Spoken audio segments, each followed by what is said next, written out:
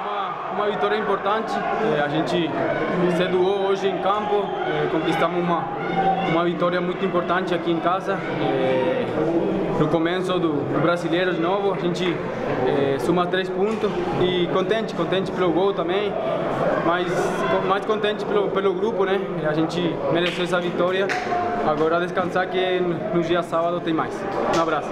Ah, primeiro feliz né, com o resultado com a vitória, né, por poder ajudar a equipe e feliz por tudo que está acontecendo na minha vida, né, de poder ter disputado a Copa do Mundo, de poder estar tá retornando, né, de jogar do lado da torcida, né, não teria jogo melhor para voltar.